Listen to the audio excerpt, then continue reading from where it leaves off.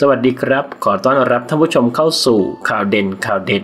ลุงตู่ลงพื้นที่โคราช เมื่อวันที่ 19 กุมภาพันธ์ เพจช้างเผือกได้โพสต์ข้อความระบุว่า ลุงตู่ นายกรัฐมนตรี ลงพื้นที่โคราช เพื่อมอบเงินเยียวยาให้แก่ผู้ที่ได้รับผลกระทบ จากเหตุคนร้ายกราดยิง โดยลุงตู่นั่งรถทะเบียน 1111 เช้าวันนี้ 19 กุมภาพันธ์ ลุงตู่ นายกรัฐมนตรี ลงพื้นที่โคราช เพื่อมอบเงินเยียวยาจากภาครัฐ ให้แก่ประชาชนผู้บริสุทธิ์ ที่ได้รับผลกระทบจากเหตุคนร้ายกราดยิง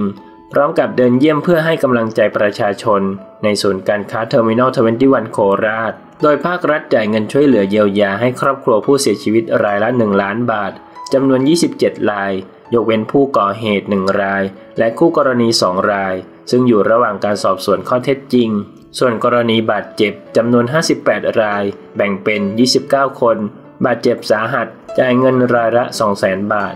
29 คน บาดเจ็บทั่วไปหรือเล็กน้อย จ่ายเงินรายละไม่เกิน 100,000 บาท โดยพิจารณาตามลักษณะอาการที่ได้รับบาดเจ็บมากน้อยเพียงใด และในภาพช่วงเช้านี้ นายกรัฐมนตรีสักการะอนุสาวรีย์ท้าวสุรนารีณรานอนุสาวรีย์ท้าวสุรนารี ตำบลในเมือง อำเภอเมืองจังหวัดนครราชสีมา และหลังจากนั้น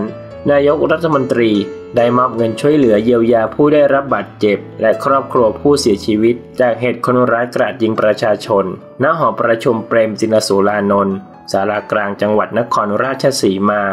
ขอขอบคุณข้อมูลจากมุมข่าวขอบคุณครับ